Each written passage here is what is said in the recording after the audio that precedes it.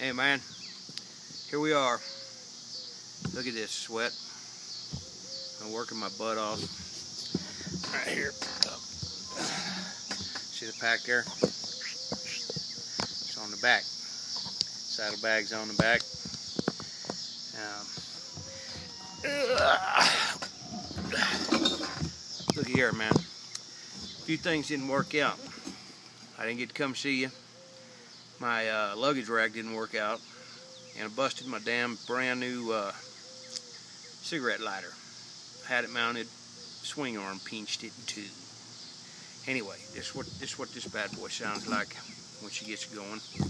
I love it, but hang on. Nice. Anyway, I ain't going for a ride right now. I still gotta finish tying down the packs uh, so I can see what it looks like, see how it's going to act without a sissy bar. Didn't believe that shit. I'm going to ride all the way to Sturgis, then all the way to Tombstone, Arizona with a pack this fucking high on the back of a motorcycle with no sissy bar. Now, that takes the balls. That's why, sir, when you look at me from here on in, what you'll be looking at is a set of these balls, brass balls. You dig it? All right, man.